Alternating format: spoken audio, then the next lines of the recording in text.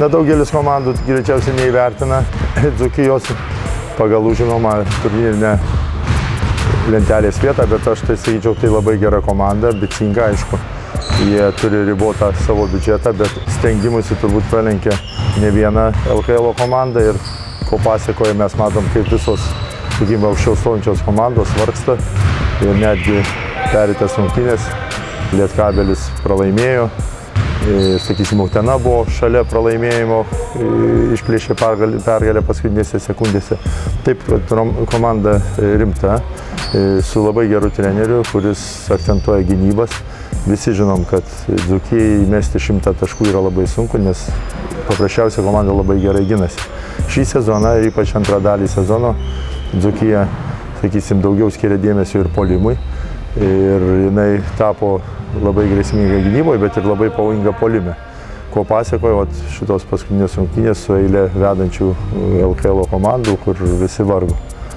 Na, mes su visų rimtumu žiūrim, mes ir negalim šiuo metu kitaip žiūrėti į visas komandas, kadangi patys savyje turim daug problemų. Pirma, mes turim sukurti tą komandinę atmosferą, turim įsiugdyti nugalėtojo mentalitetą, pajausti kažkokį žaidimo skonį, ko trūksta dabar. Na, tą linkme mes žengiam, laiko praėjo, na, sakysim, pakankamai dabar, aišku, jo neužtektinai, kad paruošti pilnavertiškai komandą, bet mm, manau, kad mes pasiruošę kautis ir laimėti. Komanda slėgė kažkoks toks turbūt moralinė atsakomybė, todėl kad visi žinojo tikslus, kad komanda turi žaisti. Europos e, taurės bent jau atkrintamosiose varžybose, tas nepavyko. Ir aišku, šitas viskas nepriduoda kažkokio pasitikėjimo. Na, manau, dabar pagal treniruočio procesą treniruojamės neblogai. Aišku, labai svarbu visą tą, e, sakysim, lygį pernešti į varžybinį procesą. E, pereitas rungtynės žaidėm gal negerai, bet parodėm bent jau charakterį, kad ketvirtam kelinukį laimėdami Utenoje 10 taškų sugebėjome perlaužti rezultatą ir laimėti rungtynės. Na, aš manau, šitas laimėjimas priduoda žaidėjim asmeniškai, kaip komandai pasitikėjimo daugiau ir manau, kad mes teisingai linkme judam.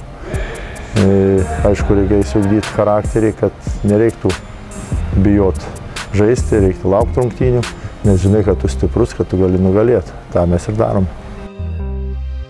Na, Arturas Gudaitis treniravosi visą šį laikotarpį individualiai, kažkiek dienų nesitreniravo, nesirgo.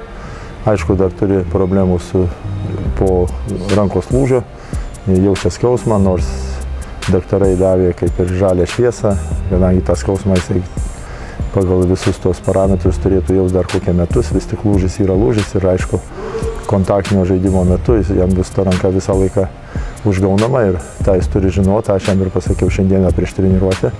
Na, man džiugu kaip treneriui, kad jam leido treniruotis ir jisai jau šiandien treniruosis kartu su komanda ir rytoj mes pabandysim pagal jo galimybės kadangi paskutinį mėnesį jis nebuvo su mumi, pagal jo galimybės žaisti. Na, Davidas Gailius patyrė piršto lūžį ir jam dar, aš manau, gydytojai sakė, ir penkios savaitės, manau, dar turbūt savaitę jisai nešios gipsą, tik po savaitės išims. Aišku, vyksta kažkokia tai reabilitacija tiek sanarių ir jeigu po gipso reikia išmankštinti ir, ir pirštų sanarius, ir riešo sanarį, taip kad procesas dar negreitas, manau, dar kokią 2-3 savaitės mes jo nematysim.